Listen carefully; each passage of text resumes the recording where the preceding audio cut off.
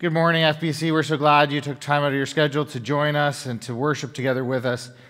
As we start, I, I, know for some of you it's been a very difficult week. It's been a week of feeling isolated and alone. And as this pandemic goes on, more and more of you are feeling that way. So let me encourage you to reach out to us, to fill out a, a Connect card. We'd love to talk with you. Pastor Ben, Pastor John, and myself would love to have a conversation with you.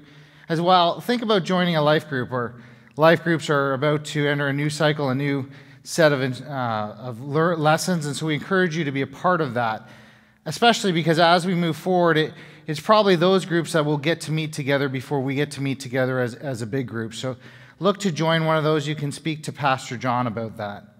Some of you have been looking for ways to serve, and there are a couple ways that you can currently do that. We have a Love Your Neighbor initiative that we've started, and you'll hear about that more and more in the next couple weeks. But we're looking for those who would be willing to help those in need. That might be something as simple as helping someone cut their grass. And if you're willing to be a part of that team, please contact Pastor John and he'll add you to the list. As well, we have an opportunity to write letters of encouragement to the residents of Golden Plough. And I encourage you to be a part of that. We want to make sure that everyone there gets a card. And so if you're willing to do that, please speak with Lois Milson. Her contact info is in our directory. Many of you have been serving in different ways, and one of the ways that you've been doing that is through your givings to the church here. And I want to just take a chance to an opportunity to thank you for your givings. They have allowed us to continue to minister. And as we look to the future and as we hear of more and more needs in our community, they set us up in order to help us meet those needs. So I would encourage you to do so. Uh, if you can, uh, to give through pre authorized withdrawal or text to give or online or, or just dropping off through the mail slot in the office. It's a great blessing to us. We just want to pray before we start our service. Father God, we come before you and we thank you for an opportunity to gather together, even in our own homes, to set aside a time to hear from you and to sing praise to you, for you are worthy of our praise.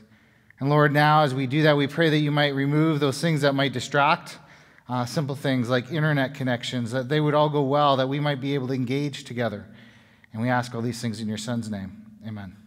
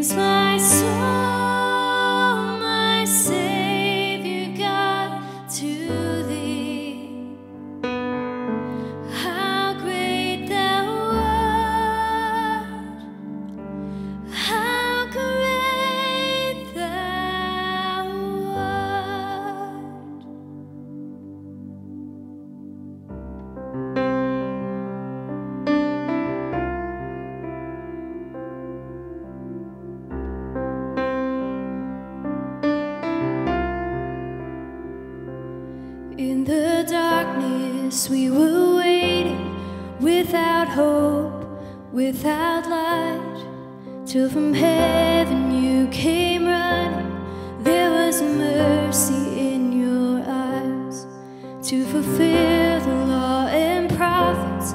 To a virgin came the word from a throne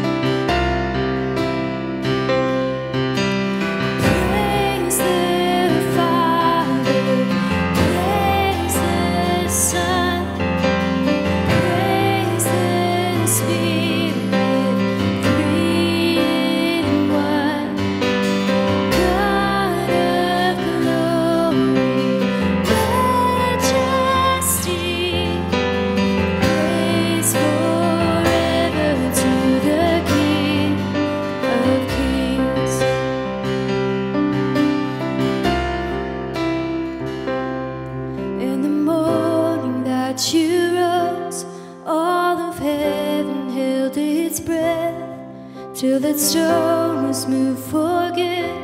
For the Lamb had conquered death, and the dead rose from their tombs,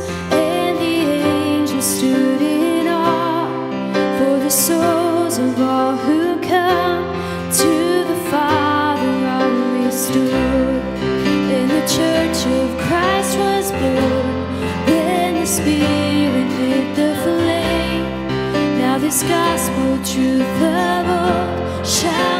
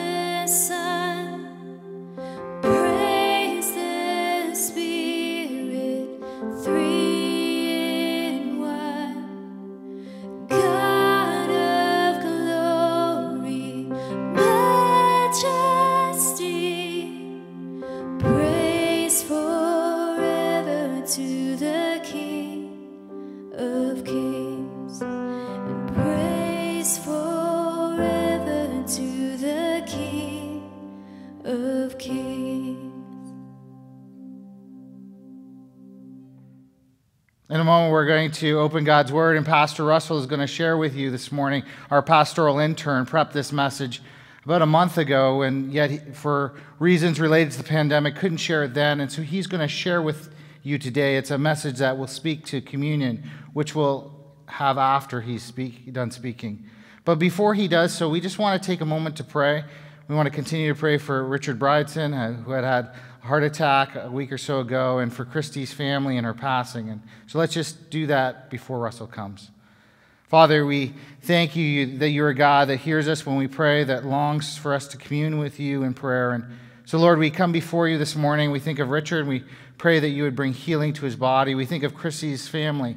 We pray that you would make your presence known to them in a very real way, that you would ask that you would draw them close to yourself. Father, we think of many in our church that feel lonely and isolated. Father, we pray that you would be their comfort during this time for those in seniors' homes who can't see their family, that you would meet with them this morning. Father, we pray for our healthcare workers and those that work in uh, facilities uh, that have those in need in them. We think of um, Christian Horizons and the workers there. And we pray that you would bless those workers, that you, that you would show your love through those workers to, to those that are there. And Father, now as we open your word, would you speak to us? Would you encourage us? And would you challenge us this morning? In Jesus' name, amen. Good morning, church family. Uh, if you could turn in your Bibles to Matthew 26, that's where we'll be today. Uh, so we are living in very interesting time right now. Right now, I'm speaking to an empty room. You're sitting on your couches at home, probably in, your pajamas, drinking coffee, and some of you are going to roll your eyes at what I'm about to say due to my relative youth, but with I remember telling some of my friends, you know what? I remember back in the day when gas was 59.9 cents. And then all the 20 year olds gasp at how cheap that is because gas more recently has been over double that. But not much over a week ago, I saw that price again, and that's how much gas has changed in the last while. In fact, I read an article recently that said that gas, or the barrel of oil, is now under zero dollars. Picture that. So, I have all these barrels of oil. I will pay you to take them from me. That is how much value and costs have changed. Oil's worth less than nothing, and people are literally fighting over toilet paper in the stores these days. Value and worth are things that are always changing, and lately this has been more dramatic than ever. At the same time, we're always making judgment calls on value, including on even each other. Is that person worth my time? How much of my time? These judgment calls are called appraisals. And today, we will be carrying out an appraisal, but of Jesus. How much do we think Jesus is worth? How much should we think he's worth? Let's read our passage. So, Matthew 26, and we'll be starting in verse 1 and going to verse 30. When Jesus had finished all these sayings, he said to his disciples, You know that after two days the Passover is coming, and the Son of Man will be delivered up to be crucified. Then the chief priests and the elders of the people gathered in the palace of the high priest whose name was Caiaphas, and plotted together in order to arrest Jesus by stealth and kill him. But they said, Not during the feast, lest there be an uproar among the people. Now, when Jesus was at Bethany in the house of Simon the leper, a woman came up to him with an alabaster flask of very expensive ointment, and she pointed on, poured it on his head as he reclined at table. And when the disciples saw it, they were indignant, saying, why this waste? For this could have been sold for a large sum and given to the poor. But Jesus, aware of this, said to them, Why do you trouble the woman? For she has done a beautiful thing to me. For you always have the poor with you, but you'll not always have me. In pouring this ointment on my body, she has done it to prepare me for burial. Truly, I say to you, wherever this gospel is proclaimed in the whole world, what she has done will also be told in memory of her. Then one of the twelve, whose name was Judas Iscariot, went to the chief priests and said, What will you give me if I deliver him over to you? And they paid him 30 pieces of silver. And from that moment, he sought an opportunity to betray him. Now, on the first day of unleavened bread, the disciples came to Jesus saying, Where will you have us prepare for you to eat the Passover? He said, Go into the city to a certain man and say to him, The teacher says, My time is at hand. I will keep the Passover at your house with my disciples. And the disciples did as Jesus had directed them, and they prepared the Passover. When it was evening, he reclined at table with the twelve, and as they were eating, he said, Truly I say to you, one of you will betray me. And they were very sorrowful and began to say to one another, Is it I, Lord? He answered, He who has dipped, him, dipped his hand in the dish with me will betray me. The Son of Man, as it is written of him, but woe to that man by whom the Son of Man is betrayed. It would have been better for that man if he had not been born. Judas, who would betray him, answered, Is it I, Lord? Is it I, Rabbi? He said to him, You have said so. Now, as they were eating, Jesus took bread, and after blessing it, he broke it and gave it to the disciples and said, Take, eat, this is my body. And he took a cup, and when he had given thanks, he gave it to them, saying, Drink of it, all of you, for this is the blood of the covenant, which is poured out for many for the forgiveness of sins. I tell you, I will not drink again of this fruit of the vine until that day when I drink it new with you in my Father's kingdom. And when they had sung a hymn, they went to the Mount of Olives. The question I would like us to consider this morning is what is Jesus worth? We, we have before us a story of two very different reactions to Jesus the woman and Judas. First, we will consider the woman and her appraisal of Jesus. And after that, we will consider Judas's. Finally, we will consider what Jesus is really worth as demonstrated through the Last Supper. Even before we get to this, let me draw your attention to something. The chief priests and the elders were taking counsel together to strategize when to have Jesus killed. They agreed it was best to wait until after the feast. Whereas in the same paragraph, Jesus told his disciples that he was going to be crucified at the time of the Passover. This is important because it is common for Matthew to group events not necessarily in chronological order, but in thematic order to make a point. And it's important to figure out what that point is. We will see more of this in the passage as we go on. The chief priests and elders intended to strategically wait till after the feast, but Jesus accurately declared that he would be crucified at the time of the feast. And the point here is that Jesus was the one who was in control, not the chief priests and elders. Jesus was in control. This should affect how we look at the text. Jesus was not a help- helpless victim of circumstance, but a man on a mission that will not be altered.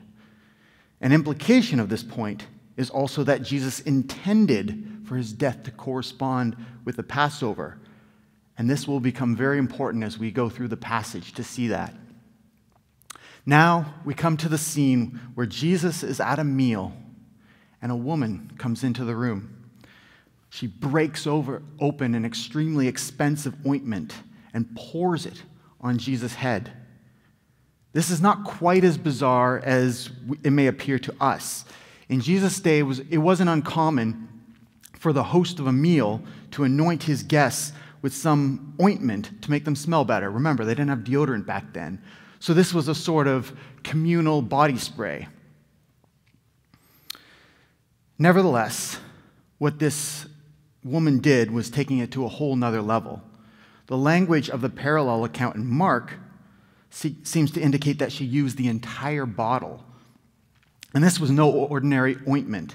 It was the equivalent of an entire year's wage, which would be something like thirty to forty thousand dollars in today's Canadian money.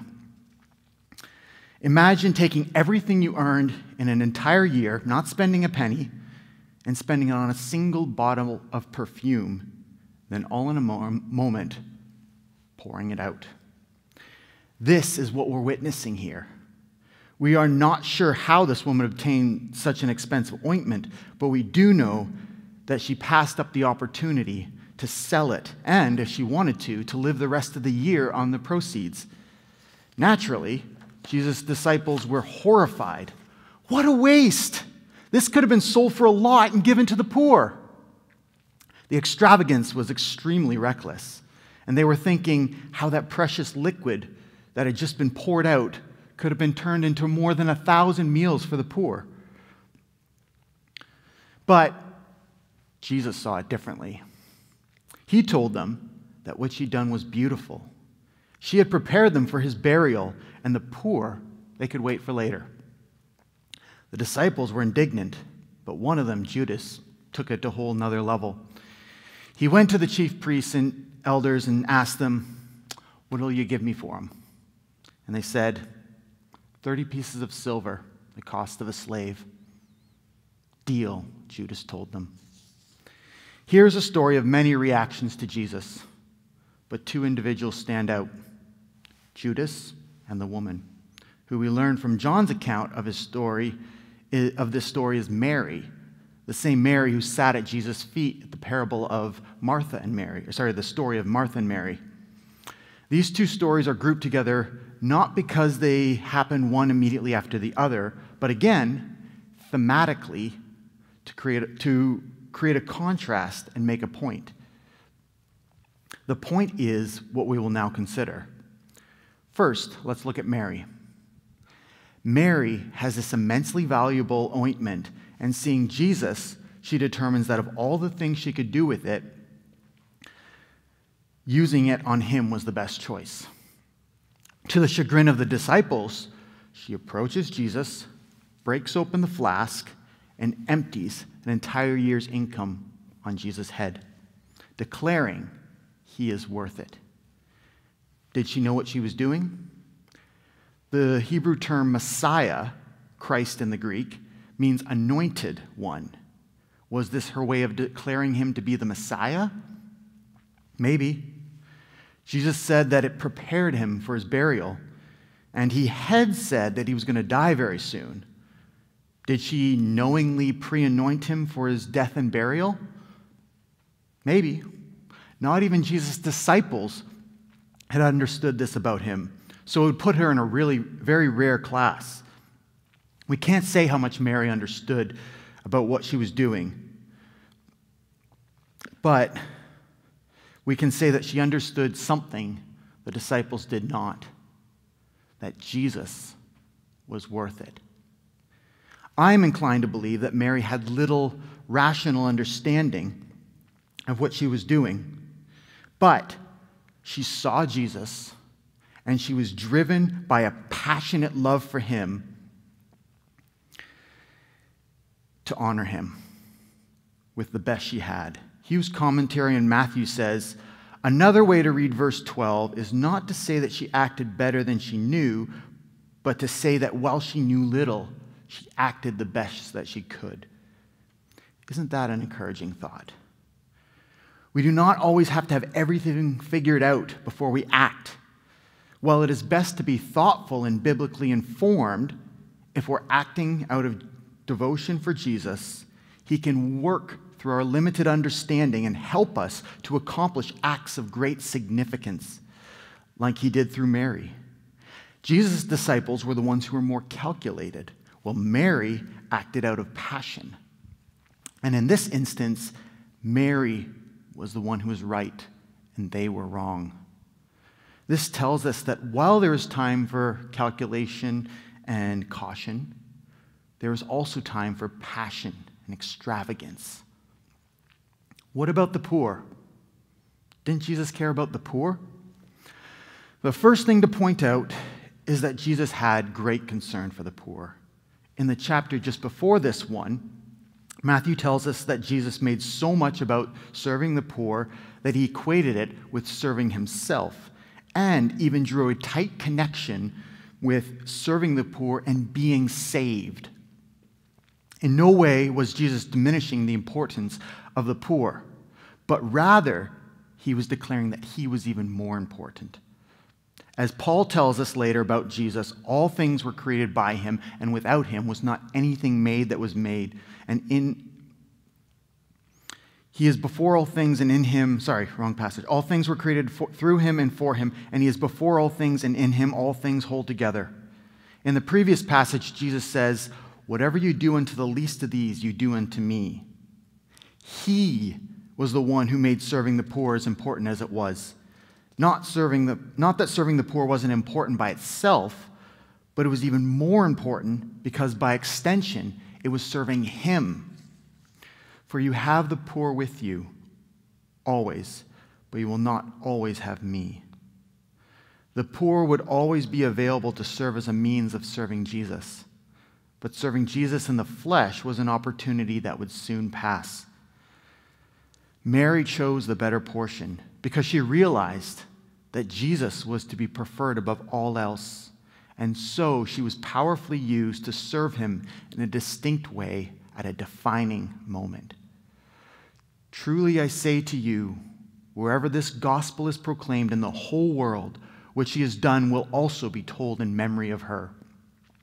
It seemed to be significant that the two gospels where this phrase is added, Mary's not named.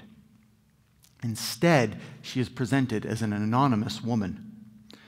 This could be to bring attention to the fact that she is a woman, someone who's marginalized and regarded with less significance in her society. One who is considered insignificant is used to do something incredibly significant. Nor is this an isolated event in the Bible. God has a habit of making much of those whose society makes little of. As you're reading through your Bible, try to notice how often someone like a woman or a slave is used, a, they play a significant role in some story. For example, the story of Naaman, he contracts leprosy and the one who tells him how he can be healed is his Jewish slave girl. And she tells him how if he goes to Elisha, he can heal her, him. And then when he goes to Elisha, and Elisha says, Go bathe in the Jordan seven times, and he gets indignant because it, his pride is hurt and doesn't want to do it, it's his slave who tells him, Why not try it? If it wasn't for Naaman's slaves, he would, he would remain a leper. Similarly, it is the women in Jesus' life who are most faithful to him in his moment of crisis. So here we see this woman come into a room of men to engage in this seemingly reckless act of passion. Yet Jesus says, No, she got it right. And her story will attend the gospel throughout the whole world, which we're proving right now as we talk about it. Truly, those who honor Jesus will also be honored by him. Now, let's come to Judas. Judas has spent three years with Jesus. He ate with him, he listened to all his teaching, and he had the opportunity to observe Jesus' character both in public and in private. Only 11 other men in all of history had the same degree of opportunity to get to know Jesus. And after three years of getting to know Jesus, he was willing to set his entire value at 30 pieces of silver. This is about a third of a year's wage, so 10,000 or so in our money. This was also the price of a person that a person had to pay when their animal killed a slave. So it was the cost equivalent of a slave. Further, this is not some spontaneous act uh, in a bout of frustration. The text says that Judas was looking for an opportunity to betray Jesus. This took time and planning. It was first degree betrayal. Then, even when Jesus looks Judas in the eye and calls him out, Judas goes ahead with a plan. To the rest of the, of the disciples, he was one of them. He was drawn to this rabbi's authoritative teaching, his moral purity, and tremendous acts of power. They assumed he believed that this man was the Messiah, the anointed one, who would usher in the kingdom of God. He ate with them, he slept with them, listened to Jesus' teaching with, them, cast out demons, preached the gospel of the kingdom of God, and was even trusted enough to be their money keeper. But he was harboring a secret. He didn't believe. Maybe he thought he did. But when the time of testing came, his true colors presented themselves. He may have thought that this man was going to gain enough popularity with the people that he would lead a great rebellion against Rome. Maybe he was skeptical all along, but he'd come this far, so he hung in there out of habit and kept his doubts to himself. We don't know Judas' motivations, but the point is he blended in with Jesus' disciples so well that even when Jesus announced that someone would betray him, no one guessed it was Judas. This should give us sober con- consideration of our own hearts. There is the potential for all of us to be Judas. If it were not for the power of God working in our hearts, none of us would be his disciples. And it is only by the power of God that we are kept. But it's not without responsibility and diligence that we are kept. The author of Hebrews tells us in chapter 3, 12 to 14 Take care, brothers lest there be in any of you an evil and unbelieving heart, leading you to fall away from the living God. But exhort one another every day, as long as it is called today, that none of you may be hardened by the deceitfulness of sin. For we have come to share in Christ, if indeed we hold our original confidence firm to the end. There's diligence, there's effort involved, even though it's God keeping us the whole time. And this is why Paul exhorts the Corinthian church to examine themselves to see whether they are in the faith. A Christian is not someone who just says a prayer and gets in. A Christian is someone who perseveres in the faith, who's being changed into the image of Christ because they are united to Christ. I point this out not to create fear and an insecurity about our faith, but because, because if we are truly saved, the Spirit of God will enable us to persevere in the faith there might be low seasons, but ultimately our, our uh, faith and our attachment to Him will hold. But God works through means, and these means include, an, include examining ourselves, encouraging one another in the faith, calling each other out on sin, and confessing and turning from our sin. So, let Judas be a warning to all of us that even one who blends in with Jesus' disciples can harbor an unbelieving heart and betray the Son of God. Now we come to the third section, the Last Supper. And it's here that we can gain a better sense of what Jesus truly is worth. But first, to get a better understanding of what's going on, let's go back a few thousand years. First of all, to the Great Flood that covered the whole earth and destroyed everyone except for Noah and his family because they were protected in the great boat that God had him build. After the flood subsided and Noah left the boat, God made a covenant with Noah. And as part of that covenant, he said that they could, they could eat animals now, with one exception the blood. God said, I give you everything, but you shall not eat the flesh with its life, that is, its blood. Now, Move forward a couple hundred years to an ancient superpower in the land of Mitzrayim, the land of sand and pyramids that we will come to know as Egypt. God had set apart a people for himself who had settled in Egypt, but had been enslaved by this mighty nation and became its primary workforce. God decided to send Moses, through whom he would set them free. But the ruler of this nation, Pharaoh, would not listen. He was the most powerful man in the world, considered a god, and he would not be told what to do. God unleashed devastating plagues and still, and they affected um, everyone, but still he refused until the tenth and most terrible plague. Every firstborn would die, from the richest to the poorest. But God provided a way of escape for his people. A lamb must die each household must kill a lamb without blemish, which they would eat as part of a sacred meal, and continue to celebrate every year to remember when God spared their firstborn and delivered them out of bondage.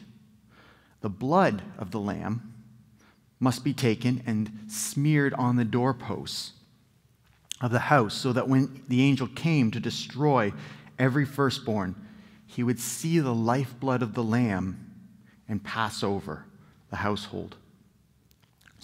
So, this feast became known as the Passover.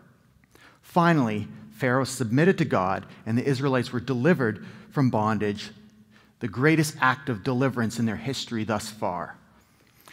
After this, God gave them the law, and they were wandering in the wilderness, which taught them, well, while they were wandering in the wilderness, uh, it taught them that whenever they sinned, an animal must die as payment for the debt that their sin created, and the lifeblood was the cost. They were reminded never to eat the meat of the animal with the blood still in it. It must be respected because the life is in the blood. Countless animals died, but it was never enough. The cost of sin was far too great, and the bondage of sin was unbroken. Now, fast forward a thousand, over a thousand years to another annual remembrance of this Passover meal, where Jesus would reinterpret the Passover forever. Let's read again verses 26 to 29. Now, as they were eating, Jesus took bread, and after it, he broke it and gave it to the disciples and said, Take, eat, this is my body. And he took a cup, and when he had given thanks, he gave it to them, saying, Drink of it, all of you, for this is my blood of the covenant, which is poured out for many for the forgiveness of sins. I tell you, I will not drink again of this fruit of the vine until that day when I drink it new with you in my Father's kingdom. Now, the focus of the Passover feast is the lamb, whose blood was smeared on the doorposts to preserve those inside. Here, in this Passover account, there's no mention of the lamb. It was certainly eaten, but as Jesus officiates the meal, his disciple, he draws the disciples' attention to something entirely different and so, says some strange things. He breaks the bread and says, This is me. Eat it. Then he passes the wine and says, This is my blood. Drink it. That sounds like cannibalism. And this is not the first time he said something like this. Going back to John chapter 6, verses 51 to 56, Jesus says, I am the living bread that came down from heaven. If anyone eats of this bread, he will live forever. And the bread that I give for the life of the and the yeah, the bread that I give for the life of the world is my flesh. Truly, truly, I say to you, unless you eat the flesh of the Son of Man and drink his blood, you have no life in you. Whoever feeds on my flesh and drinks my blood has eternal life, and I will raise him up on the last day. For my flesh is true food, and my blood is true drink. Whoever feeds on my flesh and drinks my blood abides in me, and I in him. First, we're going to ask how we do what Jesus told his disciples to do here because there's many interpretations of this. First of all, we can count out cannibal, cannibalism because Jesus is passing around literal bread and wine and not his literal flesh and blood. It's an object lesson, but a very important one because in the passage we just read, it's required for eternal life. In the passage I just read, most of the people took him literally and went away. But when Jesus asks his 12 disciples why they hadn't left, Peter says, Lord, to whom shall we go? You have the words of eternal life, and we have believed and have come to know that you are the Holy One of God.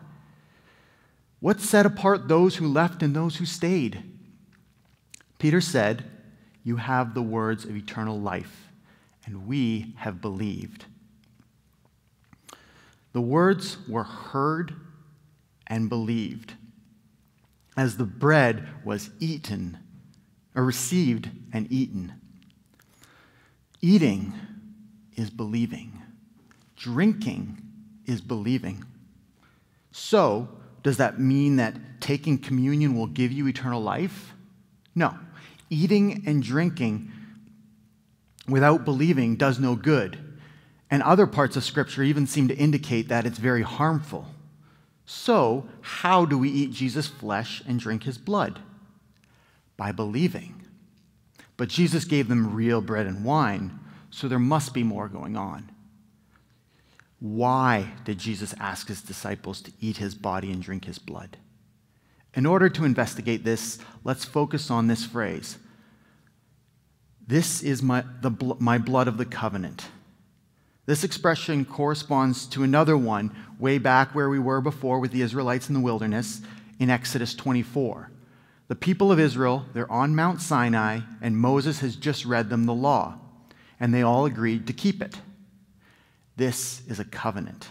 A covenant is simply the terms of a relationship.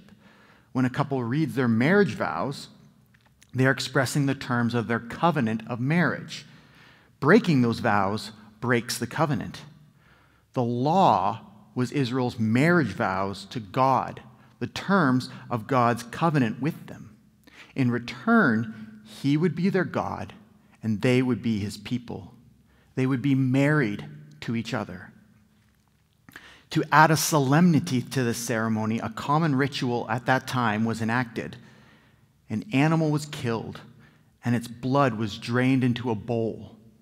And half the blood in the bowl was poured on the altar, like pouring it on God, and half was poured on the people.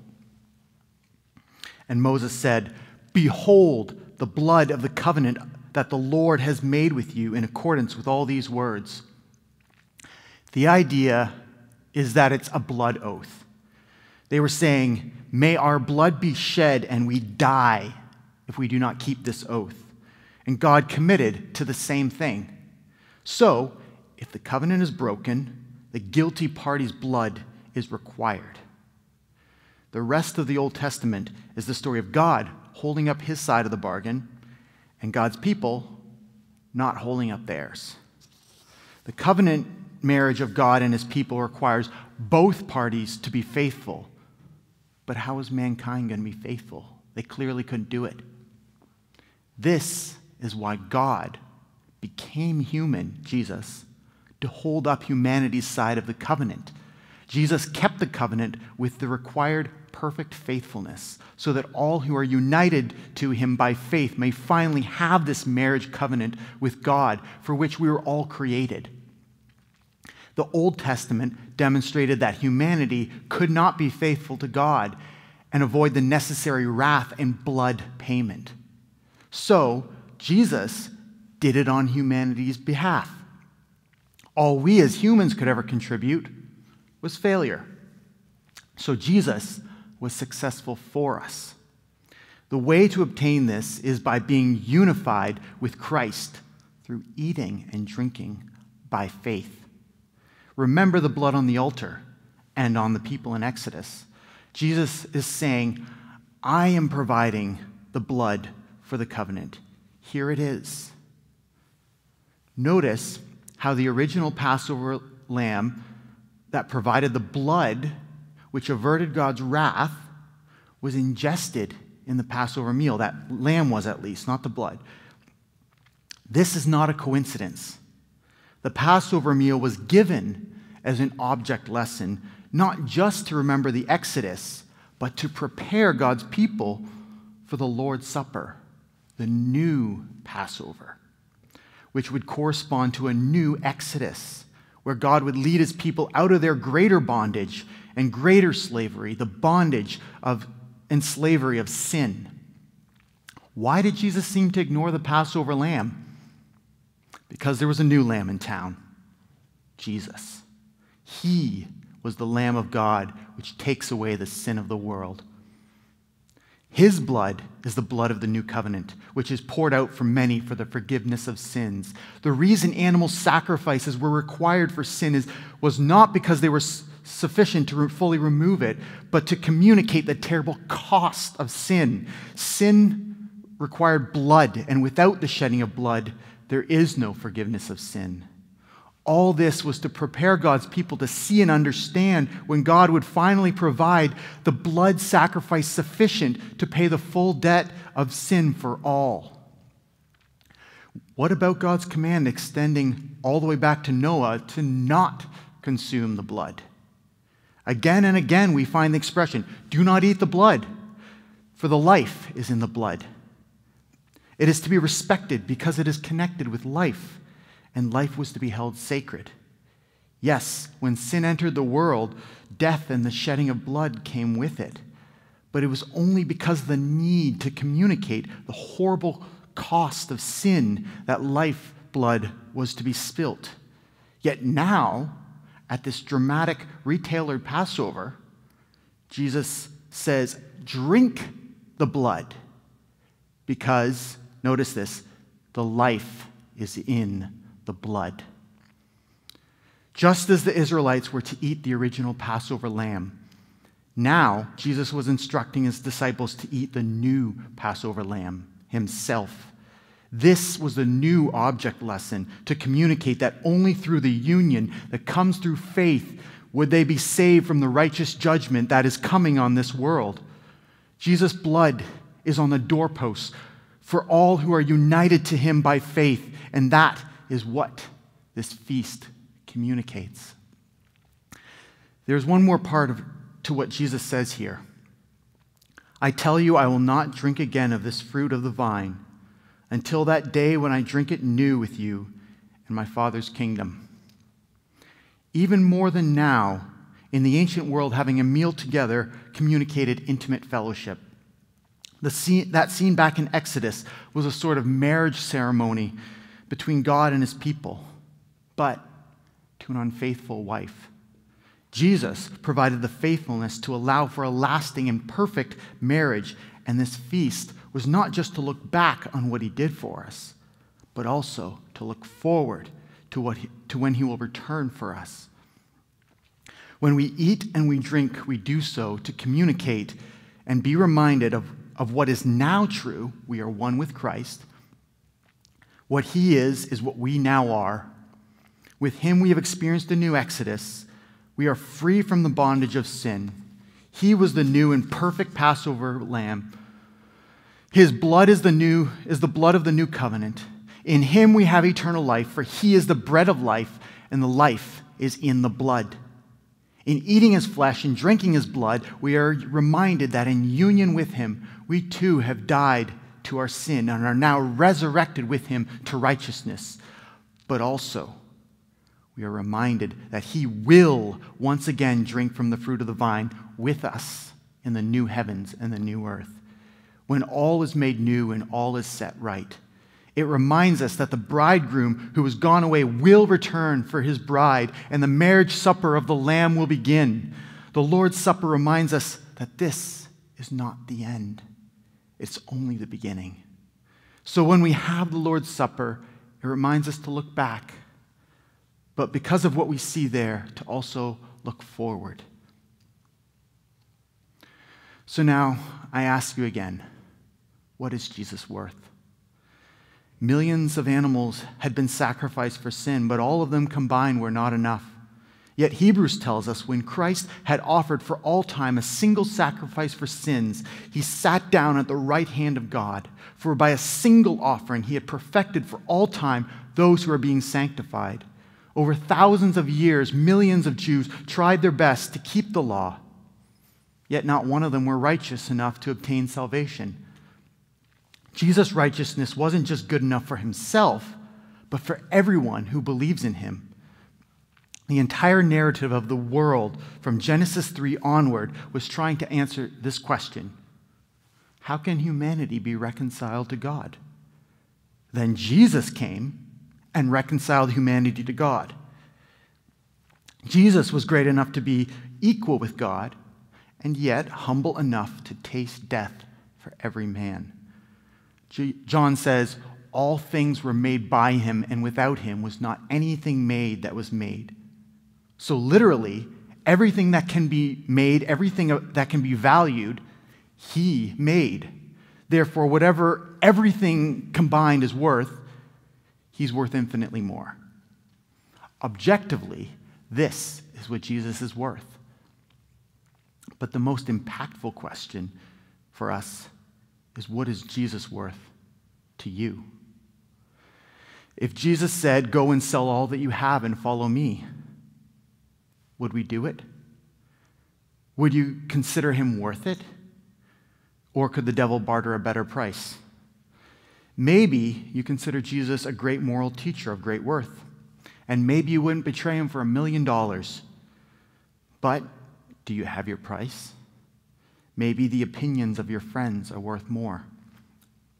Maybe the respect of your colleagues is worth more. Maybe the affections of a significant other is worth more. Maybe a certain amount of comfort in this world is worth more. It doesn't matter what the price is. Maybe your life is worth more.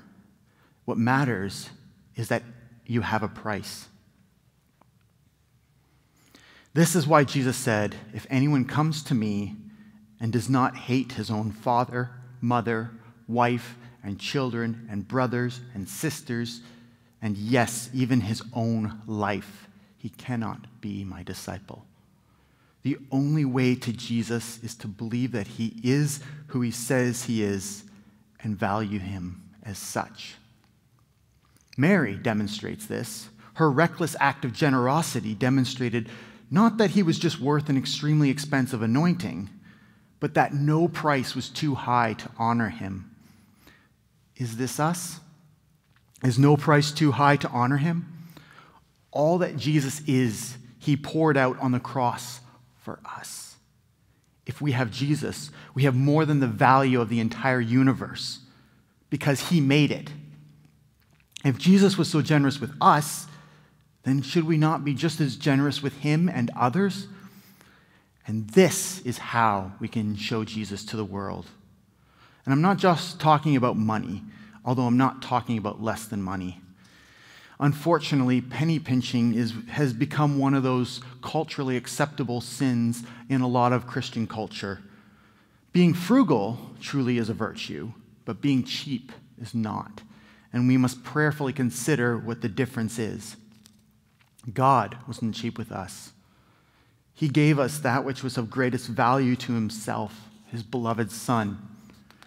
Jesus offered up his very life as a ransom for our debt, a payment for our sin. If we are in Christ, then in him we see who we truly are. But still, we need to learn to act like it. As radical and reckless as Mary's gift was to Jesus, gift was, it doesn't compare to the gift that he's given us.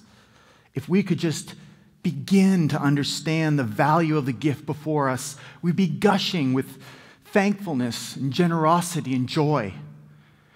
And admittedly, I say this to my own shame. There's a sense in which I know all these things I'm saying right now are true, but there's another sense in which I haven't begun to realize just how true they are and let them impact me in my life. There's a huge difference between affirming Jesus' value and love and experiencing it. It makes me think of this old cartoon. Some of you might know it, DuckTales, where there's this guy named Scrooge McDuck, and he's got this huge swimming pool in his basement of gold, and he, he's constantly diving into it and swimming in it. We need to dive into Christ and his love and swim in it. We need to stop being like Smaug from The Hobbit and just sitting on mountains of gold without any appreciation for it. We need to savor what we've been given, explore it, and put it to use.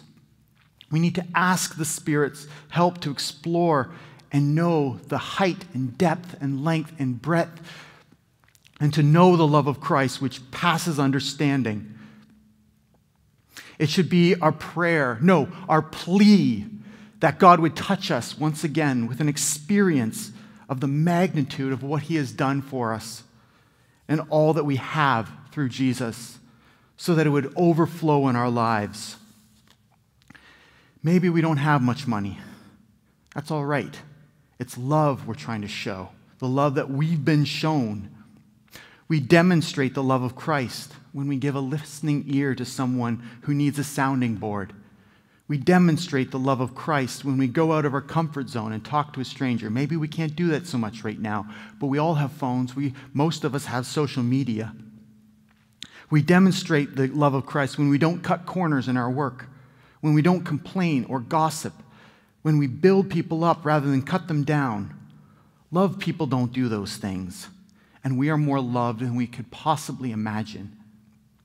Therefore, let your light shine before others, so they may see your good works and give glory to your Father who is in heaven. And in doing so, this is how we will proclaim the matchless worth of Jesus. God be with you all.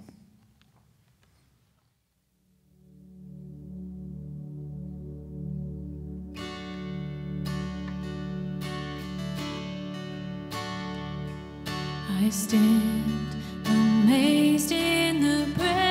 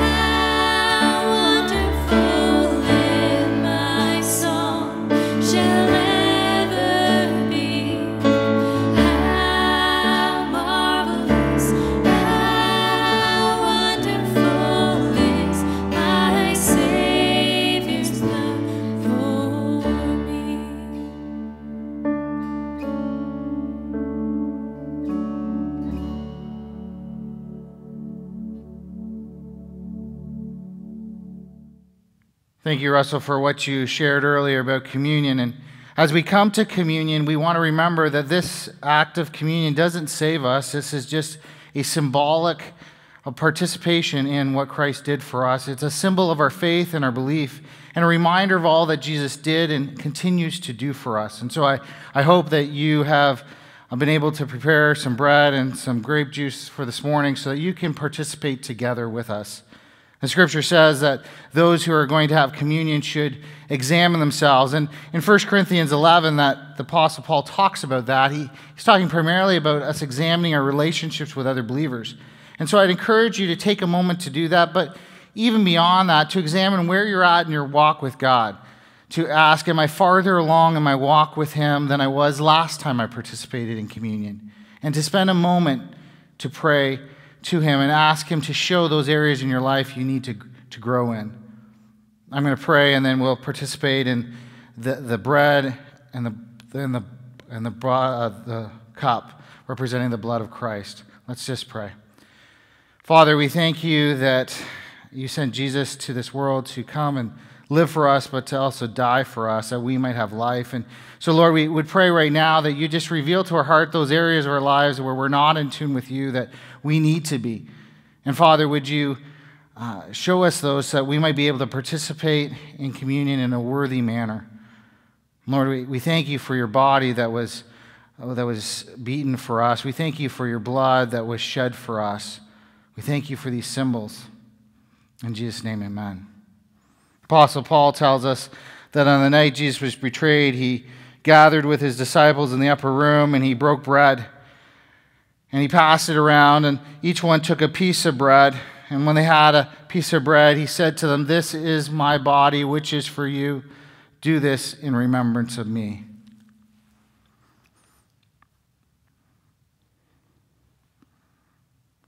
In the same way, after supper, he took a cup.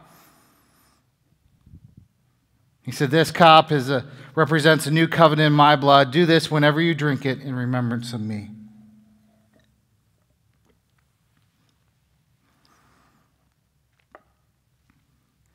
The Apostle Paul adds, For whenever you eat this, ring, eat this bread and drink this cup, you proclaim the Lord's death until he comes.